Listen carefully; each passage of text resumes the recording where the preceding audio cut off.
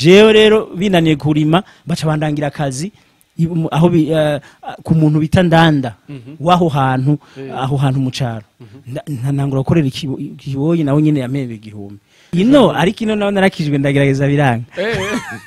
Sinzi niba bwari ubuzima bwari bungoye. Eh. Naragerageje gukizwa buriya narasengeye muri mu badivantiste hajya i remera Eh. kuko narakoreye ni- n'iruhande yaho ikiboyi Eh. habaye umuboyi hajya Eh, wabaye umuboyi cyane byinshi ntabwo ngo wigeze kuba n'umuzunguzayi hano muri Nyabugogo. Byose nazunguje impuzu imyenda twarangura nyabugogo twazitembereza umujyi wose ako giporoso muri gare hajya hose eh, burya ntihabuze abakobwa nka cumi canke veni nambitse. Kandi uwo mugabo buriya harimo impano nyinshi aratwi- atwishamo. Eh. afite impano nyinshi ahubwo tu- tubura ahantu azikura nubwo avuga ngo ngo yacuruje ubunyobwa ngo hehe ngo yazerereye ahantu hose uyu nguyu aratwihishamo ahubwo afite n'izindi mpano tuzagenda tumuvumburaho zike zike. Eh. gahoro gahoro. Mumaze kumenya nka zingahe mubona afise uyu nguyu.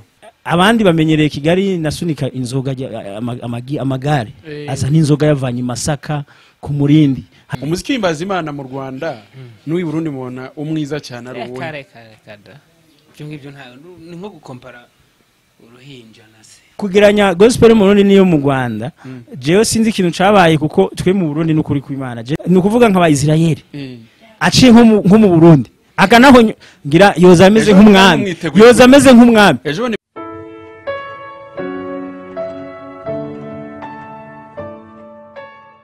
Turabaramukije bakunzi bacu tubahaye ikaze turi kumwe n'abavandimwe abavukanye. Ndabagumbiriye gabatamu natwe turakugumbiriye. Ego. Turabaramukije cyane. Ego. Eh, turi kumwe n'abarundi nk'uko mubyumvise. Na- n'imyenda bambaye harako igaragaza aho bakomoka. Eh, meze neza abel? Ah, je meze neza. Mu by'ukuri ndashima Imana kuko naje mu Rwanda ndashika amahoro. Eh, naraye ahantu heza batwakiriye neza. Mu by'ukuri meze yes eh, watangira utwibwira kugira ngo abantu bamenye ninde turi kumwe? Eh, amazina ni Nduwayo Abel. Ndi umupapa ndubatse mfise umugore umwe n'abana batanu. Hama nkaba ndi umuririmbyi w'indirimbo zo guhimbaza imana indirimbo zo gutazira imana gospel. Nkaba nabitanguye bibiri na cumi. Hama nkaba ndi n'umukinnyi w'amafilime mu burundi. Ivyo navyo nkaba nabitanguye 2018 Okay. abeli ni uwo. Okay. uri kumwe n'umuvandimwe nawe reka tumumenye. Eh, amazina yanjye nitwa tuyishime joakim Eh, ndi umugabo w'umwana umwe n'umugore umwe. Eh, ndi umukinnyi wa filime ndi umuproducer ndi umuririmbyi ndi umupiyaniste ya muri gospel nawe ya yego muri gospel. Rero nibo tugiye kuganira uyu munsi tugiye kubana kugira ngo tumenye abavandimwe n'urugendo bagenze. Aravuze ngo yatangiye bibiri na cumi na rimwe abel. Watangiye kiriya gihe wabaga mu rwanda cyangwa wabaga mu burundi? Eh, ico gihe natangura umuziki naba mu burundi kuko aha mu rwanda nahabaye kuva bibiri na mu bihumbi bibiri. Navuye ngaha muri eh, muri bibiri na gatandatu. Eh. hama nahise nkizwa wakirijwe mu rwanda? Nakirijwe mu burundi. Ino ariko ino nawe narakijwe ndagerageza biranga. Eh, sinzi niba bwari ubuzima bwari bungoye. Eh, naragerageje gukizwa buriya narasengeye muri muri mu badivantiste hajya i remera Eh. kuko narakoreye ni- n'iruhande yaho ikiboyi Eh. habaye umuboyi hajya. Eh, wabaye umuboyi cyane. Byinshi ntabwo ngo wigeze kuba n'umuzunguzayi hano muri Nyabugogo. byose nazunguje impuzu imyenda twarangura nyabugogo twazitembereza umujyi wose. Ako giporoso muri gare hajya hose eh, burya ntihabuze abakobwa nka cumi canke veni nambitse kuko Eh. nari ukuntu na- na- na- natwara imyenda y'abakobwa nka nkaza ndababwira ati akagose kakobera aka ni size yawe. Eh. nubwo itaba ari size yiwe. Ubwo nkamwemeza ati ni size yawe. Waba urenze aho waca hose. akayitwara Eh, wari uzi kugenda uvuga kwa kundi baba bavuga kuriya biriya byose ndabizi. Hama nuko eh, abandi bamenyereye kigali nasunika inzoga amagare. Eh. asa n'inzoga yavanye masaka ku murindi. Hariya uh, ku- kuri la paris club ni ho twahagarara. Mm. ku mushumba mwiza hariya. Tugasunika urumva ibyo byose urabyumva. Ariko bibiri na gatandatu naciye ntaha iwacu. Ndakizwa maze gukizwa muri eglise gerezwa des âmes. Mm. hanyuma bibiri na cumi ntangura gukora umuziki w'indirimbo ziwanje nuko nuko ubuzima bwagiye buratangura bukomeza bukomeza gutyo. Eh, eh, reka tugaruke ku muvandimwe mwazanye uyu munsi wa none. Kigali wayibonye ugeze mu rwanda inshuro zingahe? Um, eh, mu rwanda ntabwo ari ubwa mbere. Mm. Muri bibiri na gatanu nari mpari. Mm. No mu- mwaka ushize nari mpari. Nubwo nahavuye bahita bafunga imipaka Mm. ubwo twahisemo kuza ubu ngubu n'indege turavuga ati kubera ko byatinze gufungura imipaka Mm. reka tuze n'indege ariko ibikorwa bibandanye Mm. Eh, ndumva ari inshuro ya kane sinema ya hariya ibimeze gute uyigeranije n'iya hano mu rwanda Eh, sinema ya hariya novuga yuko harimo diferanse no ngaha Mm. Eh, n'aha ngaha murakora cyane wanashaka murabikunda cyane Mm. Eh, na hariya barabikunda ariko twebwe dufite ikibazo cy'uko nyine abantu ntabwo bakunda filime yakunzwe cyane ya mugisha. Ngira ngo niyo Buriya rero- filime yo muri gospel mu tuhita buriya rero. Reka tujye tuvuga ukuri uko kumeze. Eh. mugisha yakunzwe cyane kubera ko twari tukiri muri sisiteme abantu barebera ku makaseti filimi. Eh. furashi nta n'ubwo yari bwazi Mm. barebera ku masede ariko buriya filime ya mbere mu burundi. Mm. ya mbere mu burundi. Mm. Uburundi bwose burabizi filime ya mbere ifite views nyinshi kandi abantu benshi barabye bakayishyira mu mitima. N'abana b'iki gihe ugiye mu burundi ukababaza ati filime iyi ngiyi murayizi Mm. bahita bayikubwira. Ni filime yitwa paradizo y'uwo mugabo. Eh, niwe wa mbere mu burundi afite views nyinshi muri sinema Eh. eh niwe wa mbere. N'ubu wacikinga kuri youtube afite views zitabarika. Mu burundi kabisa shana umwami w'uburundi muri filime. Reka ngewe ndabikubariye. Ariko ushobora kubyanga. Reka buriya kuva kera aba- abantu babaha ibintu bakabyanga. Ariko ushobora kubyanga n'uburenganzira bwawe ariko njyewe nguhaye iryo zina. Mubona bagenda babyakira namwe. Uravuze ngo twebwe tumaze gutera imbere ariko noneho ubona mwebwe hari iwanyu bagenda babyakira bya filime. Navuga ko bitari ibintu biteye imbere cyane nk'hano iwacu mu rwanda kuko twebwe bimaze kuba byinshi. Ba- bigenda biza babyakira babyumvamo. Yes bagenda babyiyumvamo ariko ikibazo kiracyari cya kindi. Mm. ku bintu bijyanye na mb Mm. Ni ikibazo hariya mwebwe ziragora kuzibona. Urumva abantu baho Mm. eh, ndibaza turasaga nka miliyoni nibaze ko ari nka zirindwi cyangwa eshatu. Mm. ariko ugasanga byibura nta n'umusitari ukomeye aba ba big fizo bose nta muntu ajya aronka miliyoni Oh, ya wane miliyoni ariko urabye nangaha mu burundi mu rwanda davis d abaririmbyi bose bashasha baje ba dorokasi Mm. bose za twebwe Leo. media yujuje umunsi umwe ni byo nyine ni- nimo- eh, ni byo ndimo nkubwira medi umunsi umwe Eh. aronka miliyoni Eh. none ariko twebwe hariya satu baronka miliyoni imwe Mm. mu mezi atanu naho nyine yakoze korabo na medi Mm. agaserebura akavuzwama ariko mu ibintu bya mediya aba- urumva mu burundi uronse n'izo views urashima kubera ko ntago none reka tuvuge kuri gospel. Noneho murimo gukora kuri gospel. Twebwe aba gospel ubona nubwo muri kuvuga usanga natwe aba gospel bitaraba cyane nubwo bihari. Ah, mubona gospel hariya mwebwe nimukora iyo muri gukora muri gospel ni bwo byumvikana cyane kurusha ibisanzwe. Uh, muri gospel hariya i burundi navuga ko ni bakenya n'uyu nguyu aca agarukamwo ko no muri gospel uyu Mm. ni we ibintu byo bikurikirana cyane kuko asanzwe yarubatse izina muri sinema nubwo asohoye indirimbo agakora igihangano cyacu cyose barakireba kuko baba bavuga ati turamuzi Mm. n'ubu ngubu hari indirimbo aherutse gushyira hanze Mm. abantu barayikunze cyane kuko ikiza imitima ya benshi. Kandi uwo mugabo buriya harimo impano nyinshi aratwi- atwishamo. Afite impano nyinshi ahubwo tu- tubura ahantu azikura nubwo avuga ngo yacuruje ubunyobwa ngo hehe ngo yazerereye ahantu hose uyu nguyu aratwihishamo ahubwo afite n'izindi mpano tuzagenda tumuvumburaho zike zike. Gahoro gahoro. Mumaze kumenya nka zingahe mubona afise? Uyu nguyu? Uyu mugabo icya mbere yakwiruka. Buriya nasanze yanakwiruka akajya mu marushanwa. yewe yewe. Ibintu byose akora ni ubushapu kandi ntabwo wamubwira ngo ngo mfite imodoka. Abona ko afite imodoka igiye kumugora ahantu agiye kunyura abonye na ambutiyaje yumva umengo yayivamo ahubwo akanyaruka kugira ngo yi- anyaruke. Urumva afite impano nyinshi cyane kandi ni umuntu akora ibintu abangutse cyane Yeah. umva ni umumiti talenti ahubwo nta nubwo azanasaza. Buriya nta myaka irimo hano ahangaha nta nubwo azasaza uyu nguyu. Okay, reka tumugarukeho. Eh, bavuze kuri sinema eh, kuri filime zahari iwanyu mu burundi avuze filime ngo imaze kurebwa n'abantu benshi. Iyo filime yavugaga kuki? Yagaruka kuki?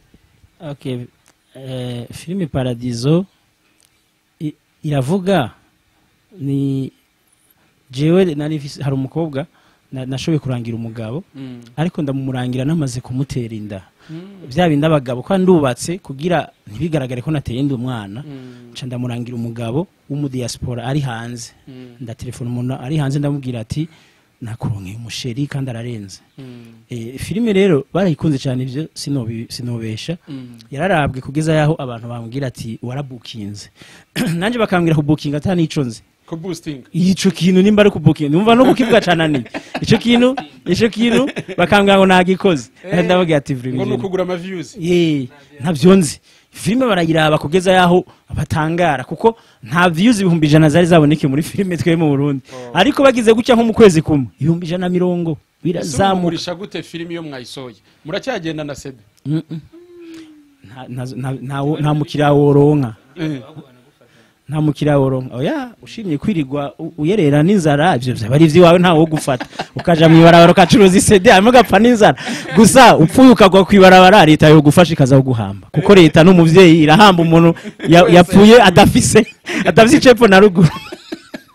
Ariko none ubwo buzima yowe bwemera kudanaza isede ugapfa n'inzara. Ariko sinovuga ngo dubise isuku. Twe turiho turaraba nk'uko yavuze mu bisama views menshi mu rwanda natwe turibaza ko imbere bizogira igihe bigakunda reka dukore twaragize amacano yacu turashyiramo ama- amafilime turarabona birarabwa kandi ntitwobesha na twebwe hari igihe ugira gutyo ukabona urarusimo agasandorari. Ukapfa guseta. twebwe hano mu rwanda ko mbona turebwa n'abarundi benshi bi- bipfira ico he? nico kibazo cabaye kuko amaviews ya mbere mu bise n'ay'abarundi Ay'abarundi nibo bantu ba mbere babaraba. Ariko twebwe ikibazo twagize carancanze. Mm, twebwe abarundi bararaba mwebwe cane. Mm. Ariko abarundi abanyarwanda bo ntibaraba abarundi cane. Kubera iki? Abanyarwanda barafise muri bo gukunda gukunda ibintu vyabo cane. Ku buryo ivy'ahandi mengo vyobanza cyangwa nuko hobanza ivyo mu rwanda hakaza ivyo iwacu. Eh? Eh, natwe ugasanga babanje ivyo mu rwanda hagakurikira twebwe. Urumva biranyuranye. urabona biragupfira he. Eh, nk'uko bivuze jewe hari ahantu ntemeranya nawe cyane kabisa. Kubera ko aravuze ngo abarundi ba- nibo benshi bareba abanyarwanda. Eh, ahubwo nabo ntabwo ba- bari gukunda ibyabo. Mm, kuko ntabwo bari kuraba ab'iwabo barimo bararaba abandi. Mm, ariko twebwe eh, nta nubwo byatubabaza kuko ni igikorwa cyiza mm. kumbure bazavuga ati ah ok n'iwacu cyangwa hasigaye nuko mutaragira byiza." ibintu byiza bishimira kuba Eh, ba- reka reka reka reka. Hano nimba hari abantu uzenya aba aba producer njye nize imyaka ibiri after effect. Iyi adobe premiere ndayisobanukiwe ngira ngo ni- nitwarangiza ikiganiro ndaza kwereka amavideo nagiye nkora. Mm. abantu benshi arabacanga Mm. hari ibintu nkora kandi wowe byagusiga ubwenge. Eh, si ukuvuga ko bitari byiza. Ahubwo ni bya bindi nubwo umuntu atarakwiyumvamo Mm. ibyo wakora byose ko ari ntabwo yabona ko ari byiza nubwo byaba ubwo ari byiza. ntimurabasha nanone kuronka uburyo bwo kwamamaza cyane. Kuko hano mu rwanda nyine ahubwo reka ngusobanure ikibazo gihari rero noneho. Ikibazo gihari inangaha abakire bamaze ku kumenya ibintu bijyanye no, kwamamaza ibintu biciye binyuze muri filime mu Mm. muziki ariko twebwe ntabwo barafunguka amaso baho ngo batwizere ngo Mm. baduhe akazi mujya mwumva hano mu rwanda umuhanzi- arasinya miliyari. Bru- Bruce Melody numvise miliyoni ndavuga ati ibyo bintu ndumva na- ntabwo nabivamo. Numvise ayo mafaranga nyashyira mu marundi. Yewe we ubwo se si akadege mbabarira ushirire mu marundi mbwira uko byaba mu marundi miliyari y'amanyarwanda. Niba atari y'ama ariko oya. Ariko niba niba atari y'amazimbabwe bimwe bya social media. ari amazimbabwe yaba ari miliyoni y'amanyarwanda bisanzwe. Eh, eh. ariko nimba ari- ari y'amanyarwanda Eh. sha afite abakire benshi. Benshi arabafite kabisa. Eh. kuko miliyari ah, ndibaza nta bantu ijana mu rwanda ngira baba bayifite. Mm, Miliyari wabona- na- wabona ari benshi. Eh, ijana? Mm. ah, miliyari n'amafaranga ateye ubwoba ntiwabonye umujyi ukuntu ukeye usa neza. Ahangaha hari abakoze. Aba- aba- aba baba barakoze. Kugira ngo bigende gusa Eh, dukomeje twarimo tugaruka kuri sinema yahari iwanyu n'uburyo mukora. Ariko noneho turimo tugana ku- gikorwa cy'uyu mugabo. Uyu munsi muri mu rwanda. Mwagarutse mu rwanda nyuma y'igihe kinini. Ariko umupira wambaye wanditseho gute? G iyi ni G5 production. Iyi ni company yanje. E, ikora amafilime donc iyi G5 irimo ibintu bine nkora. Mhm. G G iserukira gospel. G uca uvuga gospel. Fice fe ni filime Mhm. Ice Mm. ni akazi nkora ndi umu businessman. Je nkora business. Eh, nkora ibintu bita ice cream. Nkafurisa ama, ama supermarket i Bujumbura. Iyo iserukira ice cream. Hanyuma iyi ce umuherwe. Iyi ce ni komedia iserukira komedi. Kuko mu byo nkora ndakora filime nkakoramo na komedi. Eh nico tuma naco ndavyita G5 production. Ibi byose biri muri iyo production byose hamwe. Ubwo Yeah. ni ni entrepren- inter- entrepreneur? Eh, ego yanje. Okay Ah, Eh. uyu munsi hano ibyo bintu uvuze ubihuza gute kugira ngo nanone ukomeze guseriva ba bantu bagukunda ba bantu bashaka kureba ibyo utanga? Mu bisanzwe jewe si- sino kwibeshera ndi umuntu w'umwete vraiment. Je ndafise umwete kugeza naho jewe ndi bujumbura. Ndashobora kuba ku- umunsi wose kuva mu gitondo kuva saa moya kugera nka saa yine z'ijoro. Ah, ntaronka n'umwanya wo kwicara. Je namye mvuga iyo baduhura n'imana na yo kuyibaza na yo isavye serivisi ikongera umwanya. Umwanya w'umurango ni muto. Jewe bingira gutya nkabona burije nkabona Ah, oya twebwe ntabwo dukora 24 sur 24 bivanye sinzi mu Burundi uburyo tubayeho n'ibiki. Abantu benshi ntibarabyiyumvamo. Uhava usanga mu ijoro urimo ukora wenyine uga- ugahura n'abasuma sinzi. Urumva rero bituma je ndiko ndakora guhera mu gitondo saa yine zigera nkubona n'akazi sindagaheza. Eh urumva? Yeah. ariko ngo reka tugaruke gatoya bwa buzima bwo mu rwanda. Wari waje mu rwanda ubundi bibiri wari uje mu biki? Ni ukuvuga kuva ndi umwana nakuze nkunda umuji nkunda igisagara nkunda umuji jewe na papa yari yantwaye ahantu mu kirundo muri komine bwambarangwe yari afise abagore babiri. Anshirayo ni hafi ya, nyamata iyo hakurya. Hama eh, tu- tu- turavugana n'abantu tuje gupagasa. Buriya naje mu rwanda bwa mbere muri nonanti witi tuca tuja ikibungo. Ahantu mu caro bita imatongo dukora ikiraka cyo kurima guhinga. Turarima. Je nari umwana muto nta n'ivyangombwa nari mfise narijabukiye akagera ndaza ngaho imatongo jewe rero binaniye kurima baca bandangira akazi aho eh, ku muntu bita ndanda. W'aho hantu aho hantu mu caro Nda- nta- nangura gukorera ikibo- ikiboyi nawe nyene yampembe igihumbi. Ndakora ico gihe za nonantuwiti na nefu hanyuma ndaja no gukorera irukira. Naho nyine narahabaye igihe gito mu nyuma ndaba ikibungo mu muji rero sana ndaba hariya muri eto kibungo ndava muri eto kibungo ndaba kuri rompwe hajya kuri rompwe gujya. Hama maze ku- kuvaho aho hose nca niyumvira ati reka nsubiye i burundi. Mu kuja mu rwanda naciye njabuka akanyaru nca nja i butare. I butare ndahakorera naho eh, ukwezi kumwe. Mugo naguma mviza umuji. Naguma nimvira je ntageze ikigali sinzovyemera mu muji. Ngeze butanze wape sindashika. Nkeneye aha- ahantu wa mbere umuji wa mbere wo mu Rwanda. Niwo nkeneye. Nukuvuga nubwo wari kuza umbwira ati unyivye. Mugo nkumva unzanye i Kigali. Wari kunzana. Wari kunzana. Rero jewe nakoze ukwezi kumwe ndose amafaranga ya mbere ndi butare. Mm. aho hari rero muri igihumbi kimwe amajana icenda mirongo icenda n'icenda gutyo. Eh, ngira tugire bibiri. Niho naciye inzi Kigali jewe umunsi haba konseri Kigali ngira y'umuririmbyi yaje gupfa w'umunya South Africa. Nari ngaha niba ari Brenda niba ari Brenda. Wa akagore gato oya yitwa mengo ni Brenda Yego. uwo mugore umunsi aza ngaha nari ngaha i Kigali. Urumva? Rero rero jewe naz- na- na- na- na- naza nizanye. Kandi si uvuga ko iwacu na yo mbuzi ibyonge iwacu aho mvuka mu kayanza. Turarima tukimbura. Ariko gukunda kwangara byatumye ngira. Ariko rero ivyo uko kuyerera ntikwabaye imfa gusa. Nari ku ishuri Eh, kubera ubuzima naciyemo ngaho byaranyigije eh. Ujya guhitamo kujya gusunika ya magare wavuze.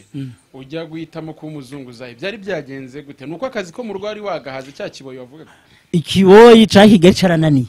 Ahantu nakoze iminsi myinshi ni amezi abiri cyangwa atatu. Narakora nkaca ngenda barantuka nkumva nkarara ndi umunyabwoba niko ndemwe. Naragenda gukora nk'ahantu nko mu mabuja yataha ashitse antuka ye baba naca ns- nsohoka urupangu nagenda ngiye. Yeah. niba ate baraje? Kurara muri urupangu rwiza ngiye kurara mw'ibarabara ariko ibitutsi ndabihunge nuko rero ubuzima buranka mpitamo kwibera mu buzima bwa jenyene menya ati naciye magana ngahe kandi ico gihe i kigali igiceri ca senkani nico warakirya ugahaga. Jewe twarira ha- hakurana. Hano turi kabeza. Hagira iruhande habaho isoko. Ritaratera imbere. Hari utuzu tw'amabati ibiki amaresitora ibiki. Hajya je ni ho twarikunda kurira. Senkani warajya ibiryo vyinshi ugahaga. Urumva? Ni ukuvuga niyo ndasunika amakinga nkaca amajana atanu atatu amajana atanu yaba ari menshi narashobora kurya senkani ku murango eh, senkani ku mugoroba. Ayandi nkayanywera inzoga. Ibihe bibi utazibagirwa wagiriye hano i kigali ni ibi ibihe bibi? Eh kurara mu ishamba. Je nararaye mu ishamba inshuro nyinshi. Je nararaye mu ishamba eh, hari ahantu twahora turara. Ndakwereke neza. Ubu hari amashugwe indabyo. Urabona ngaha ku gisaha. Aha ku camitsingi ku cya mitsingi hajya nyene ufashe rya aeroport ukarireka ugafata irigenda hariya ah, iri- iri- irigenda igwamagana. Aha ku ruhande urabona ahantu hari indabyo amashugwe kijya gihe kera ntiyari indabyo. Ha- barahahinga baharima ibigori ibiharage n'ibiki. Hariya twahora tuharara ba- bahu- bahuye ibiharage ha- bijya bintu bivamo ibiharage urabona vyumye Yego. ba- babishize mu murima tukiryamiraho. Hepfo gato hari ahantu haba insina z'ibitoki. Hajya hepfo gato ya- ku- uriko uragenda hariya hepfo nyandungu. Ahantu haba insina z'igitoki hagenda haraye kishi impuzu tukaduhuza mu isashe ukatunyegeza munsi hanyuma ukiryamira ku mugoroba ukaza kiryamira ukiryamira. ndongera ndara mu mwonga. Hani hantu twarara urabona kuri paris club. Mm. hajya hari mu mwonga hari akantu katwara amazi uku- kama Yego. uru- du- sinzi niba nakwituruzi ariko si uruzi ko ni gatoya buriya hajya iruhande y'uruzi hari ahantu twari twaragize hariho ivyatsi nyine niya vyatsi ukaba wabitema ukaja munsi ukamera nk'uri mu nzu n'imvura ntiyadusangayo. Siko rero abahungu twirirwa dusunika amaki- amakinga hajya Eh. ku mugoroba agashira kwiryamira mwana. None ivyo wewe vyibagira Oya. ariko nimba je ndakubwira imana ko ndayizi mvaga gukomera kwayo ko imana irashobora guhindurira ubuzima narayibonye ibaze kurara iruhande y'u- y'umwonga mw'ijoro. Aho rero ico twakora impamvu twanywa inzoga Mm. Twirirwa wajya kugiporoso tukanwa ukaba uzi ko nutaha saa yine y'ijoro saa tanu. Ugiye mu ishamba kwiryamira itiro ebana rizaba rirenze ahubwo rero inushima ushima imana kuba atanzoka yaje kunjya inzoka zari hico giye vrema urazi ko kuba ahantu mu ishamba inzoka ntize no ku nta n'inzoka yigeze inkomora n'umunsi umwe? Oh, oh, oh. Eh, reka tugaruke ku buzima bwawe bwo gukizwa. Niki cyabaye kugira ngo ujye gukizwa? Byagenze gute ngo uhitemo gukizwa ubundi kuva kera ubuzima bwose nacamo nari umuntu nkunda ivy'imana. Je mu mibereho yanje nkunda ivy'imana. N'indirimbo zisanzwe izi za sekira mpora ndazumva. Hari iza ari ubwa mbere kanyohera ariko nawe rimwe kabiri gatatu ibigiye. Mu buzima bwanje nari usanzwe ndi umuntu nkunda indirimbo za gospel nkakunda ibintu vy'imana. Mu ncamake nabikunda kuva kera. Rero gukizwa nabigiyemo kubera ari byo bisanzwe ari ivyanje. Eh, Wari- uyu munsi uteranira muri gerizo des amen ko watubwiye. Yego. Uyu munsi ugize ibihangano bingahe? Umaze kugira Ah, indirimbo ngeze mu ndirimbo zirenga mirongo ibiri. Ubwo ni alubumu zingahe alubumu zitatu. eh, amafilime na yo eh, amavideo gusa. Je nkora amavideo handi meza je nkose nkoze video ncankorana nkoze audio ncankorana na video. Niyo mpamvu nubu naje nzanye nakoze audio ncankorana na video. Indirimbo nshasha urahumuriza. Okay ni indirimbo nshasha. Ni ukuvuga ama, ama, ama filime na zo ubu zoba zigeze nko muri eh, nka zitanu amafilime agenda arangira arangira arangira. N'ubu ejo naje nshizeho iyindi nshasha. Ziba ziri kuri channel yitwa gute? Abel nduwayi official. Ubwo reka tubwire ba barundi mwese muri muri dias- diaspora muri kutureba. Eh. mujye kuri Albert Nduwayo abel nduwayi Abel. official eh, abel nduwayi Nduwayo burya biraryoshe nubwo twebwe uh, novuga urabona ibikorwa dukora. Ntidukora eh, ntidukora kugira tuce turonka inyungu aho nyene ziboneka. Mm. zi, zinyaruka. Nibishika bige bikaza ntaco. Mugo je ikintu ca mbere catumye ninjira muri ibintu niyumvira ivy'imana yankoreye n'ibiki n'ibiki. Mm. ca numva noyikorera. Je ibi byose ndabikora mu buryo bwo gukorera imana. Numve ko nogira nanje umusanzu ikintu nterereye. Muri ubuzima mbayemo ngira abo nzana ku mana Mm. nka jewe. Kuko ibintu mfise ntabyo nazinjanye Mm. ivyo narose byose nabihawe n'imana. Gukora imana yumva nta buhombo nta gihombo. Eh, rero ubushize waje mu rwanda avuze ko avuga ku bya miziki ariko uyu munsi uri no kuvuga kuri filime. Umuntu yakwibaza tubwaje mu rwanda wenda hari filime tugiye kubona irimo abanyarwanda? Bazakora. Cane. Hari seri nshasha na, naje ntanguye mu burundi yitwa indyarya seri eh, seri ya mbere izo- ishobora kujayo mu ndwiza izojayo ndi ngaha. Rero hariho uh, ama, image make tuzokorana n'abanyarwanda tuzoyajane hakurya muzoze murayibona. Nivyo bituzanye n'uwo arafise ibindi vyinshi tuje gukora. Uyu ni umuproducteur akomeye turafise n'uwundi muhungu twazananye.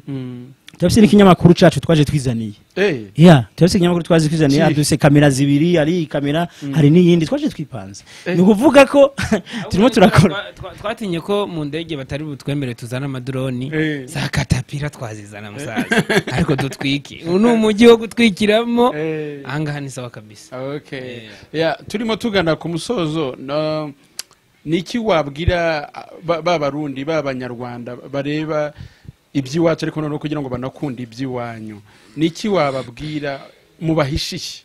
Muri yavuze kuri produ- producer ugiye gukora ibyo bintu byose n'ibindi. Uyu munsi niki wabizeza mugiye gukora? Mugiye kwitaho cyiza kongeramo imbaraga mu byo mwari musanzwe mukora. Ikintu maze kubona kandi nabo bamaze kubona ah, dufatiye ku badukuriye haba mu muziki haba muri filime. Iyo urimo urakora collaboration biba byiza cyane. Kuko uriya muntu abamukurikirana nawe baza iwawe. Nawe abagukurikirana bagiwe. Ubwo rero iyo babonye umuntu yiyaranjije agatike k'indege karahenda musasi karahenda umuntu aba yarakanura abana baba baburaye ariko itike ikaboneka. None se umuntu arimo arakora? Ibikorwa bizivugire basi. Bazagira impuhwe bavuga ati "Sha, baraye inzara harakubititswe hari abacuruje ubunyobwa nk'uko yabivuze. Urumva rero umuntu imana iba yamuvanye kure. Basi aka kazi kacu bakubahe basi bavuge ngo reka turebe ikintu cyabajyanye. N'ukuri turebe basi ko hari ikintu cy'impinduka bazanye. Ariko twavuze kuri filime cyane reka mbabaze no kuri mizike umuziki w'imbaza imana mu rwanda n'uw'i burundi mubona umwiza cyane ari uwuhe? ni nko gukompara uruhinja na se. Kuko eh, navuga ko mu rwanda muri hejuru. Kuko nimba ari ikintu ntajya nkora njyewe nkunda kuvuga ukuri. Eh, nkunda kuvuga ukuri kubera ko ibintu biba bigaragara. Ariko namwe hari igihe mwagize ba polineri mugira n'abandi benshi twakunze hari iwanyu. ndakubaza bari he? Ahubwo nyine mwabashyize. Inaha mu rwanda reka nkubwire karite ya mbere mbabwire. Kuko buriya umuntu aba afite ibintu bamukundira n'ibyo bamugayira ariko reka mbabwire ntabwo navuga ibyo kugaya cyane reka reka mvuge byiza mbona. Inangaha umuhanzi yakoze gospel ikagenda neza ntabwo yiruka. Ntawe twege bace baja mu mahanga. Eh, bahita bigendera. Nka polineri ntabwo atuye burundi? Oya. Nta- oya. Ubu ngubu yaje muri vakansi ariko ntaba mu burundi. Aba ba davidi reka ntukore ikosa turi imbere y'ikinyamakuru. Kuko ndabimurusha cyane. Eh, muri gospel ndabizi cyane. Aponeri ari burundi kandi afise ishengero ryiwe ni umupasiteri Ehe. I- igituma muba mutamubona mu byo kuririmba cyane ntakirimo cyane ni umupasiteri ni umukozi w'imana. Ariko abandanya gukora indirimbo zo guhimbaza imana mu ishengero. Donke yihaye gukorera mu ishengero? Eh, live gu- guhimbara abantu aho nyene. Nta- ntiyongere gukora Eh, amavideo kandi afite ishengero ryiza cyane rirateye imbere urumva ubu ni byo arimo cyane Ah, abo bari kuvuga bo batari mu burundi nka ba fortra ni ba- ba davidi ni ba nani? Ba- ba dudu ba- ba- namwe amaburanda akomeye nka ba dudu aba fotora bari hanze. Ahubwo je abari burundi none nanjye sindahari. Je nzigumira i burundi. Je nzigumira i burundi ndahari hama gusa Eh. u- kugeranya gospel mu burundi niyo mu rwanda jewe sinzi ikintu cabaye kuko twe mu burundi n'ukuri kw'imana je ndirimba gospel mugo n'ukuri nubwo ndirimba. Nuko gukunda imana nyene Eh. ntibayikunda. Bumva izo mu rwanda Biyumvira gospel mu rwanda n'ukuri ni ukuvuga nk'abayisirayeli aciye nko mu burundi. Akanaho ny- ngira yoza ameze nk'umwami. yoza ameze nk'umwami. Ejo bundi mwari ye mumwiteguye byari ibindi byari ibindi bindi. Yaza gospel yanyu n'ahangaha irayobeye. Mu burundi bajya baterana bakaba benshi iyo haje diamond aba ba kofi bande ariko bamaze kumva israel. A- abari kuza kuri diamond bikubye ebyiri.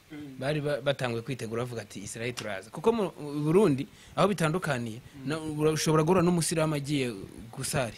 Ukumva ariko araririmba akaririmbo ka israel. Indirimbo y'imana ye. Avuga ati jesi nitayeho yose ariko sha hari umusaza yaririmbye. Ukumva arimo araririmba.